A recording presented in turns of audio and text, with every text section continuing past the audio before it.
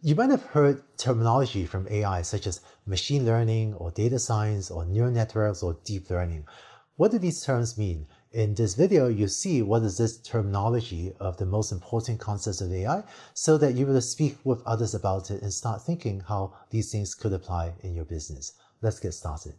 Let's say you have a housing data set like this with the size of the house, number of bedrooms, number of bathrooms, whether the house is newly renovated, as well as the price. If you want to build a mobile app to help people price houses, so this would be the input A, and this would be the output B, then this would be a machine learning system. In particular, it'd be one of those machine learning systems that learns input to output or A to B mappings. So machine learning often results in a running AI system. So it's a piece of software that any time of day, any time of night can automatically input A, these uh, properties of a house, and outputs B. So if you have an AI system running, serving dozens or hundreds or thousands of millions of users, that's usually a machine learning system. In contrast, here's something else you might want to do, which is to have a team analyze your data set in order to gain insights. So a team might come up with a conclusion like, Hey, did you know if you have two houses of a similar size, of a similar square footage, if the house has three bedrooms, then they cost a lot more than the house with two bedrooms, even if the square footage is the same. Or did you know that newly renovated homes have a 15% premium? And this could help you make decisions such as Given a similar square footage, do you want to build a two bedroom or three bedroom size in order to maximize value? Or is it worth an investment to renovate a home in the hope that the renovation increases the price you can sell a house for? So these would be examples of data science projects, where the output of a data science project is a set of insights that can help you make business decisions, such as what type of house to build or whether to invest in renovation. The boundaries between these two terms, machine learning and data science, are actually a little bit fuzzy, and these terms are not used consistently even in industry today. But what I'm giving here is maybe the most commonly used definitions of these terms, but you will not find universal adherence to these definitions. To formalize these two notions a bit more, machine learning is the field of study that gives computers the ability to learn without being explicitly programmed. This is a definition by Arthur Samuel many decades ago. Arthur Samuel was one of the pioneers of machine learning who was famous for building a checkers playing program that could play checkers even better than he himself, the inventor, could play the game. So a machine learning project will often result in a piece of software that runs, that outputs B given A. In contrast, data science is the science of extracting knowledge and insights from data. And so the output of a data science project is often a slide deck, like a PowerPoint presentation that summarizes conclusions for executives to take business actions or that summarizes conclusions for a product team to decide how to improve a website. Let me give an example of machine learning versus data science in the online advertising industry. Today, the large ad platforms all have a piece of AI that quickly tells them what's the ad you are most likely to click on. So that's a machine learning system, and this turns out to be incredibly lucrative. AI system that inputs information about you and about the ad and outputs will you click on this or not. These systems are running 24-7, and these are machine learning systems that drive ad revenue for these companies. So there's a piece of software that runs. In contrast, I've also done data science projects in the online advertising industry. If analyzing data tells you, for example, that the travel industry is not buying a lot of ads, but if you send more salespeople to sell ads to travel companies, you could convince them to use more advertising. Then that would be an example of a data science project and the data science conclusion that results in executives deciding to ask the sales team to spend more time reaching out to the travel industry. So even in one company, you may have different machine learning and data science projects, both of which can be incredibly valuable. You may have also heard of deep learning. So what is deep learning?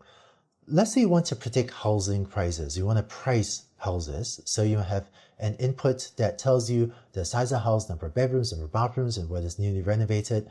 One of the most effective ways to price houses given this input A would be to feed it to this thing here in order to have it output the price. This big thing in the middle is called a neural network, and sometimes we also call it an artificial neural network.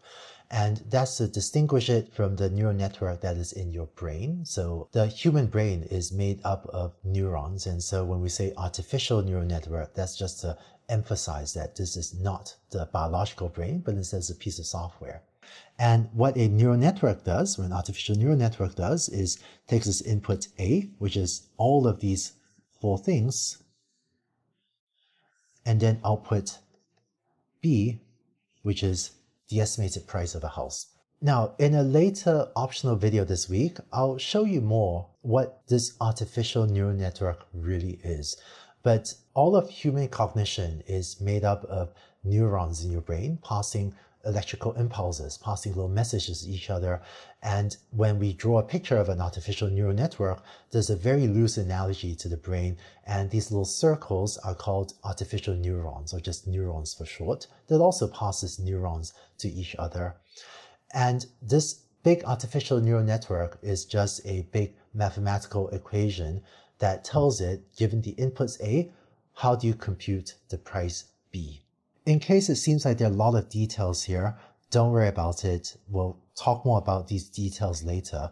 But the key takeaways are that a neural network is a very effective technique for learning A to B or input to output mappings. And today, the terms neural network and deep learning are used almost interchangeably. They mean essentially the same thing. Many decades ago, this type of software was called a neural network, but in recent years, we found that you know, deep learning was just a much better sounding brand. And so that, for better or worse, is the term that's been taking off recently. So what do neural networks or artificial neural networks have to do with the brain? It turns out almost nothing. Neural networks were originally inspired by the brain, but the details of how they work are almost completely unrelated to how biological brains work. So I was very cautious today about making any analogies between artificial neural networks and the biological brain, even though there was some loose inspiration there. So AI has many different tools. In this video, you learned about what are machine learning and data science, and also what is deep learning and what's a neural network. You might also hear in the media other buzzwords like unsupervised learning, reinforcement learning, graphical models, planning knowledge graph, and so on. And you don't need to know what all of these other terms mean, but these are just other tools for getting AI systems to make computers act intelligently. And I try to give you a sense of what some of these terms mean in later videos as well. But the most important tools that I hope you know about are machine learning and data science, as well as deep learning and neural networks, which are a very powerful way to do machine learning and sometimes data science. If we were to draw a Venn diagram showing how all these concepts fit together, this is what it might look like. AI is this huge set of tools for making computers behave intelligently. Of AI, the biggest subset is probably tools from machine learning, but AI does have other tools than machine learning, such as some of these buzzwords are listed at the bottom. And of machine learning, the part of machine learning that's most important these days is neural networks or deep learning, which is a very powerful set of tools for carrying out supervised learning or A to B mappings, as well as some other things. But there are also other machine learning tools that are not just deep learning tools. So how does data science fit into this picture? There is inconsistency in how the terminology is used. Some people will tell you data science is a subset of AI. Some people will tell you AI is a subset of data science. It depends a bit on who you ask. But I would say that data science is maybe a cross-cutting subset of all of these tools that uses many tools from AI, machine learning, and deep learning, but has some other separate tools as well that solves a very set of important problems in driving business insights. In this video, you saw what is machine learning, what is data science, and what is deep learning and neural networks. I hope this gives you a sense of the most common and important terminology used in AI, and you can start thinking about how these things might apply to your company. Now, what does it mean for a company to be good at AI? Let's talk about that in the next video.